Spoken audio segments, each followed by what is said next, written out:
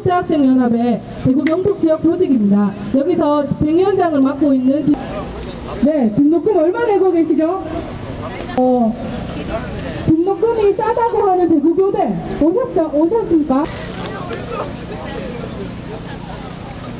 여러분들과 뉴스 뭐 하고 저희가 들어봤던 한 번씩은 들어봤죠. 근데 실현됐습니까?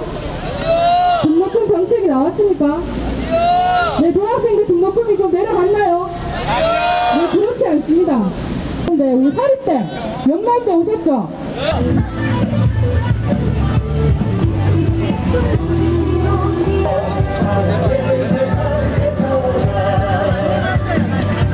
네, 저희가 이런 거 많이 안 해봐서 지금 어색합니다. 촛불을 들고, 촛불을 들고, 지금 전국적으로 이슈가 되고 있고 뭐 서울 지역의 대학생들부터 촛불 집회, 뭐 반값 등록금 이렇게 좀 화제가 되고 있는데 우리 대구 경북 지역에서도 사실 등록금 비싼 대학이 너무 많고 뭐한 3년 동결된 대학도 있지만 그래도 아직도 너무 비싸기 때문에 어, 이런 뭐 전국적인 이런 상황도 있고 그래가지고 저희 우리 지역에서도 좀 촛불 집회 한번 해보자 뭐 그렇게 해서 계획을 하게 됐습니다.